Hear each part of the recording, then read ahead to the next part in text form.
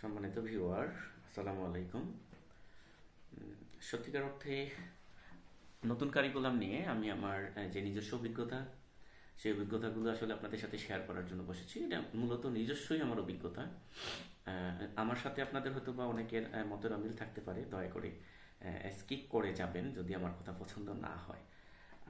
আচ্ছা যাই হোক, আমি যে বিষয়টা নিয়ে কথা বলতে চাচ্ছিলাম, আমি কিছুদিন যাবত ফেসবুকে একটি কিছু ভিডিও দেখছি যেগুলো কোনো একটা শিক্ষক প্রশিক্ষণের।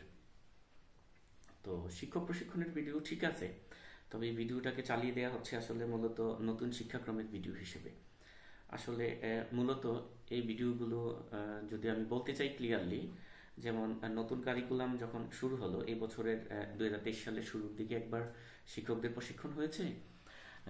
এরপরে এখন আবার ডিসেম্বরের নয় তারিখ থেকে অষ্টম এবং নবম শ্রেণির যে কারিকুলাম পরিবর্তন হচ্ছে, তার উপর ভিত্তি করে শিক্ষকদেরকে আবার প্রশিক্ষণ দেওয়া হবে।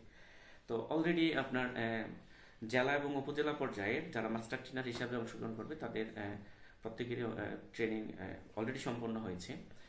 তো আমি একজন প্রশিক্ষণ গ্রহণকারী হিসাবে আমি আসলে কোথাও এরকম কোনো ধরনের প্রশিক্ষণ ফেস করিনি। আপনারা যেটা আসলে ফেসবুকে সবাই শেয়ার করছেন, কোনো অথেন্টিক সোর্স না জেনে যদি হয়তো বা কোনো শিক্ষক দিয়েছে, কিন্তু আসলে কোন শিক্ষক শেয়ার করেছে সেটাও আসলে খুঁজে পাচ্ছি না। তো নিশ্চয়ই কোনো শিক্ষক দিয়েছে যেহেতু এটা শিক্ষক প্রশিক্ষণের ভিডিও কিন্তু ব্যাপার হচ্ছে এটা, নতুন কারিকুলামের ভিডিও না। আপনারা একটা ভিডিও দেখে থাকবেন হচ্ছে কি যে হাঁসের প্যাক প্যাক নিয়ে যে একটা ভিডিও করা হচ্ছে, এটা আসলে মূলত প্রাথমিক বিদ্যালয়ের সাধারণ ভগ্নাংশকে দশমিক ভগ্নাংশ রূপান্তরের একটি ভিডিও তো মূলত এটা আসলে শেখানো হচ্ছে প্রাইমারি শিক্ষকদেরকে। নতুন কারিকুলামে না, এরা আসলে গণিত অলিম্পিয়াড নামে একটা কোর্স আছে এদের। আমি আমি যতদূর জানি গণিত অলিম্পিয়াডে একজন বাচ্চাকে কীভাবে আপনার সাধারণ ভগ্নাংশ থেকে দশমিক ভগ্নাংশে গণিতটাকে রূপান্তর করা যায়, তার উপর ভিত্তি করে মূলত এই প্রশিক্ষণটি সাজানো হয়েছে। এবং এই প্রশিক্ষণটি এত চমৎকার যে আপনি এই একটা প্রশিক্ষণের অংশ বিশেষ না দেখে যদি টোটাল প্রশিক্ষণটা অবলোকন করেন, তখন আসলে বুঝতে পারবেন যে একজন শিক্ষার্থী, আমরা পূর্বে যেমন শিখতাম, মুখস্থ করতাম আর এখনকার যে শিক্ষা পদ্ধতিটা, একজন শিক্ষার্থী যখন স্টেপ বাই স্টেপ ফলো করে একটা মানে গণিতকে তারা ভেঙে ভেঙে দেখে, বুঝে শিখবে, তাহলে আসলে তার যে শিক্ষাটা হবে সেটা হবে হৃদয়ঙ্গম শিক্ষা। যে শিক্ষাটা আসলে সে কখনো খুব সহসা ভুলবে না। তো আসলে সত্যিকার অর্থে আমাদের প্রশিক্ষণ যখন আমরা গ্রহণ করি নট অনলি মানে টিচার্স ক্লিনিক্যাল ট্রেনিং প্রত্যেকটা ট্রেনিংয়ে যখন আমরা পাঁচ থেকে ছয় ঘণ্টা ট্রেনিং গ্রহণ করি থাকে, কিছু বিনোদন থাকে। তো বিনোদন করতে হয়, কারণ একঘেয়েমি চলে আসলে সত্যিকার অর্থে সেই প্রশিক্ষণগুলো আসলে ফলপ্রসূ করা যায় না, অনেকের ব্রেন ক্যাচ করে না, অনেকের অনেক ধরনের প্রতিবন্ধকতা থাকে। তখন আমরা কিছু এন্টারটেন করি, সেটা হতে পারে, শিক্ষক প্রশিক্ষণ হতে পারে এনি আদার ট্রেনিং যেখানেই হোক। কিন্তু আসলে বাংলাদেশের মানুষের, বাংলাদেশের শিক্ষকদের তথা আপামরি সকল জনগণের আমাদের যেটা একটা মানে বিগ ম্যাটার হয়ে দাঁড়িয়েছে, যেটা মানে আমার আমার ধারণা। আপনার সাথে না মিলতে পারে মনে কষ্ট নেবেন না। হয়তোবা আমরা সামাজিক যোগাযোগ মাধ্যমে কি কি শেয়ার করা যাবে, কি কি শেয়ার করা যাবে না, এটা মনে আমাদের আসলে সত্যিকার অর্থে ঘাটতি আছে। একজন মানুষ কোনো কিছু একটা শেয়ার করলে তার অথেন্টিক মানে সোর্স না জেনেই আম- আমরাও আবার পুনরায় এই একই কথা বলে শেয়ার করা সত্যিকার অর্থে এটা একটা সাইবার ক্রাইম তো আসলে আমার যে কথা, আমি আসলে নতুন শিক্ষাক্রম নিয়ে কথা বলতেছিলাম।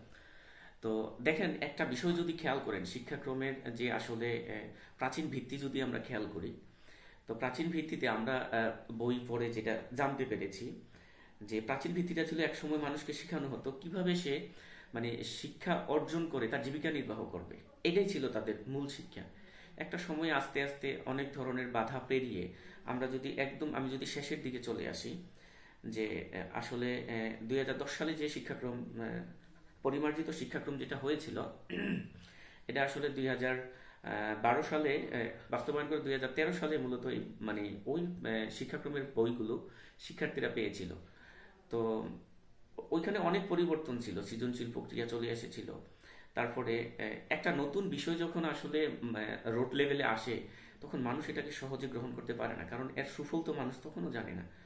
তো নতুন যে শিক্ষাক্রমটা, আগের যে আপনার ছিল হচ্ছে মুখস্থ নির্ভর শিক্ষাক্রম, আর এখন আমরা বলছি যে এটা হচ্ছে যোগ্যতা ভিত্তিক শিক্ষাক্রম, এখানে আসলে একটা মহা তফাৎ রয়ে গেছে যেটা আমরা বুঝতে পারতেছি না। আমরা যদি একটু খেয়াল করি উন্নত বিশ্বের দিকে, যে আসলে সেইখানে বাংলাদেশ সরকার দুই হাজার একচল্লিশ সালের মধ্যে বাংলাদেশকে স্মার্ট বাংলাদেশ গড়ার একটা স্বপ্ন দেখছে। যেখানে স্মার্ট বাংলাদেশের চারটি উপাদানের মধ্যে প্রধান যে উপাদান সেটা হচ্ছে স্মার্ট সিটিজেন। তো স্মার্ট সিটিজেন আসলে কি হবে? যে হচ্ছে তথ্য প্রযুক্তির ব্যবহারই না শুধু, যে তথ্য- প্রযুক্তির সঠিক ব্যবহার ও নৈতিক ব্যবহার করতে জানবে, আসলে আমরা তাকেই স্মার্ট সিটিজেন বলব। আসলে আমরা বাংলাদেশের মানুষ কতটুকু তথ্য প্রযুক্তির ব্যবহারটা জানি আসলে? যেমন আমি একজন আইসিটি টিচার হিসাবে, আমি আমি মনে করি যে আমি আইসিটি জগতের একটা সমুদ্রের শুধু একটা পাড়ে দাঁড়িয়ে আছি। আসলে তাই বলি কি আমি শিক্ষক দুর্বল, আমার দেশ, উন্নয়নশীল দেশ, তাই বলি কি আমরা শেখার চেষ্টা করব না? শিখতে হবে না? যেখানে উন্নত বিশ্ব, উন্নত বিশ্বের বাচ্চারা আপনার তৃতীয় শ্রেণি থেকেই তারা ইলেকট্রনিক বিভিন্ন ডিভাইস নিয়ে ঘাটাঘাটি করছে। তারা রোবটের প্রাথমিক ধারণা পেয়ে যাচ্ছে। তো আমাদের দেশে মাধ্যমিক লেভেল পর্যন্ত আমরা শুধু এআই কি সেটাই মুখস্থ করাই। এখন তো এআই এর যুগ চলে আসছে। রোবট কি? সেই রোবটই তাদেরকে এখনও চেনাই কিন্তু তাইলে তারা এই রোবোটিক্সের প্রোগ্রামিং কখন শিখবে? বিশ্ব এগিয়ে যাচ্ছে, আমরা কি এগিয়ে যেতে চাচ্ছি না? অনেকেই এই কারিকুলামকে নেতিবাচক দেখছেন।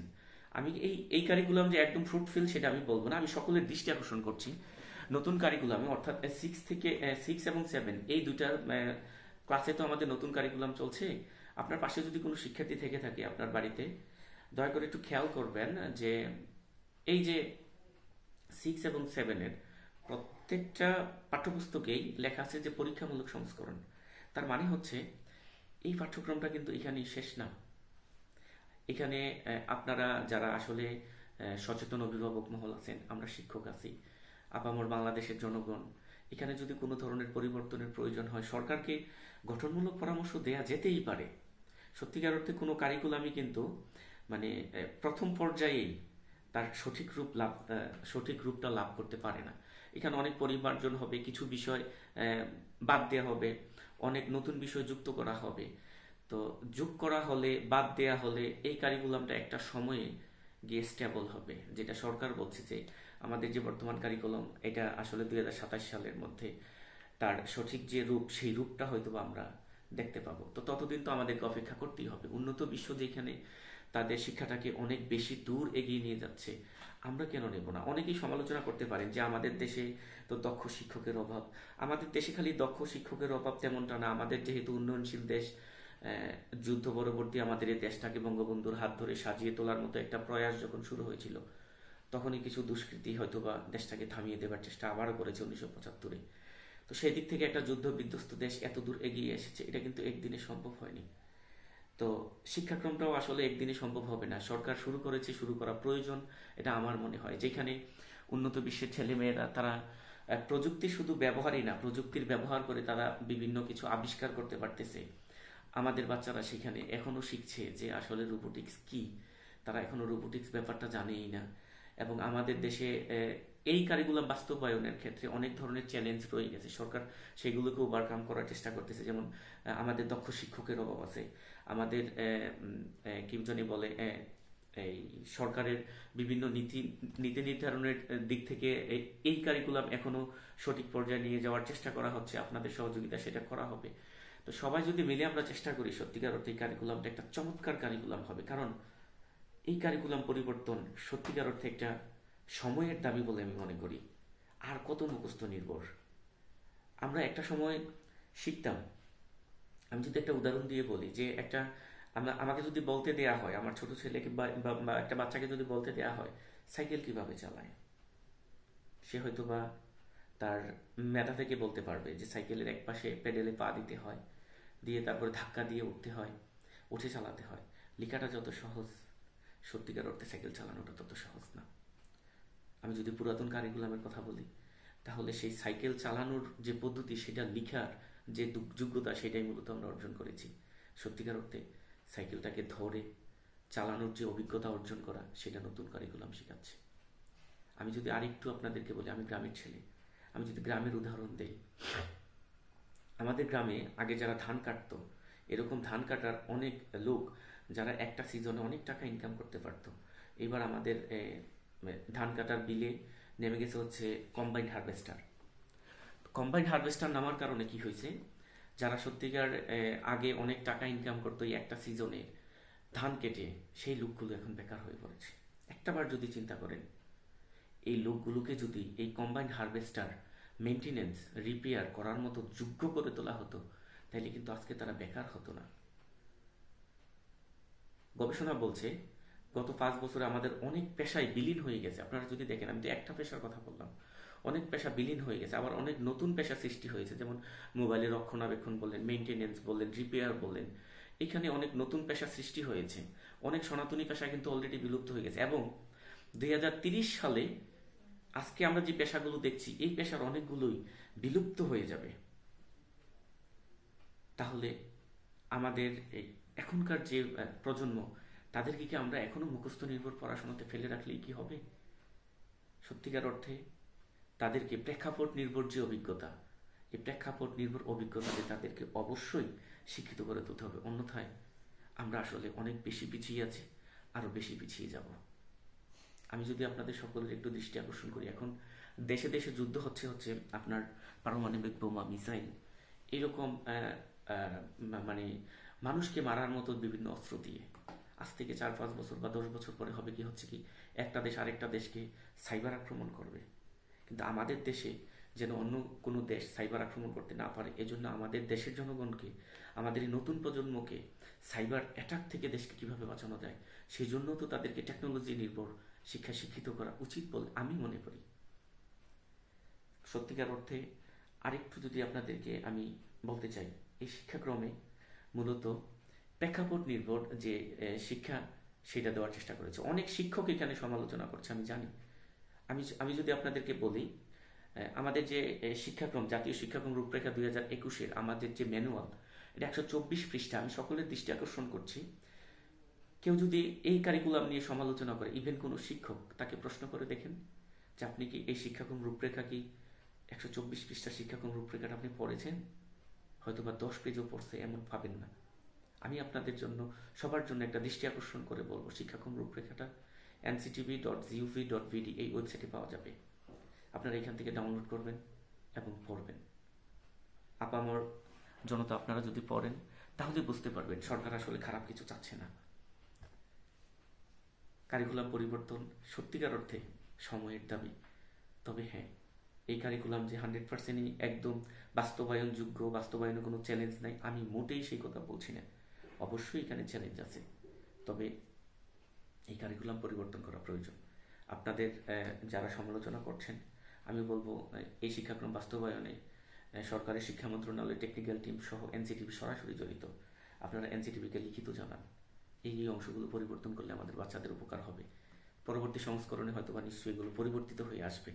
তবে বর্তমান বিশ্বের বিশ্ব নাগরিকত্ব সৃষ্টি করার জন্য শিক্ষাক্রম মুখস্থ নির্ভর থেকে বেরিয়ে এসে প্রেক্ষাপট নির্ভর বা যোগ্যতা নির্ভর যেটা আমরা বলছি, সেটা অবশ্যই বাস্তবায়ন করা অতীব জরুরি বলে আমি একজন শিক্ষক হিসাবে মনে করি। আপনারা যদি খেয়াল করেন, আমাদের বাচ্চারা আর কত ইউজার হয়ে থাকবে, আমরা আর কত ইউজার হব? আমরা একটা মোবাইল নাম্বার যদি সেভ করতে চাই, এখনও এখনও আমাদের দেশে অনেক মানুষ আছে যে আরেকজনের কাছে মোবাইলটা নিয়ে যাচ্ছে। আমাদের সেই যোগ্যতাটা এখনও অর্জিত হয়নি। তো আমি সবাইকে আহ্বান করব, চলুন আমরা শিক্ষাক্রম রূপরেখা দুই হাজার একুশের যে পাঠ্যপুস্তকটা আছে সেটা আমরা পড়ি। পড়ার পর আমরা সমালোচনাতে যাই। আর অনেকেই বলে যে স্কুল আসলে হোটেল হয়ে গেছে, যেখানে ভাত রান্না, তরকারি রান্না শেখায়। নতুন কারিকুলামে মোট দশটি যোগ্যতা আছে। এবং এর অনেকগুলো দক্ষতা আছে, যেখান থেকে বাচ্চারা দক্ষতা অর্জন করবে। তো এরকম অনেকগুলো যোগ্যতার মধ্যে একটি যোগ্যতা যদি হয়, সেটা হচ্ছে আপনার আলুর ভর্তা বানানো। এছাড়াও কিন্তু আরও অনেক কিছু আছে। আনবিলিভেবল। আমি যদিও যদিও আপনাদেরকে মানে পাবলিক প্লেসে কথাগুলো বলা নিষেধ, একটা আমি শুধু এতটুকু ধারণা দিতে পারি, আমি যেমন ডিজিটাল প্রযুক্তি শিক্ষক হিসেবে, আমার ডিজিটাল প্রযুক্তি বিষয়ে শিক্ষার্থীকে যদি আমি যদি সঠিক গাইডলাইন্স করতে পারি, আমাদের কিছু এখনও কিছু সমস্যা রয়ে গেছে চ্যালেঞ্জ রয়ে গেছে। যে চ্যালেঞ্জগুলো যদি সরকারের কাছ থেকে শিক্ষকদের আপনার সামাজিক মর্যাদা সহ বিভিন্ন ইকুইপমেন্ট উপকরণ আমাদের কি জানে বলে, আমাদের হচ্ছে বিভিন্ন ধরনের ফ্যাকাল্টি যদি সরকার নিশ্চিত করে এবং দুই হাজার সাতাশ সালের মধ্যে আমাদের সবগুলো চ্যালেঞ্জ যদি মেকআপ হয়ে যায়, এই কারিকুলাম থেকে নবম, দশম শ্রেণির একটা শিক্ষার্থী যখন বেরিয়ে যাবে, সে টোটাল একটা প্রোগ্রামিং এর ধারণা নিয়ে বের হবে। এবং তার অদূর ভবিষ্যতে সে প্রোগ্রামিং ডেভেলপ করতে পারবে। সে আর শুধুমাত্র ব্যবহারকারী থাকবে না, সে প্রযুক্তি বানাতে চেষ্টা করবে।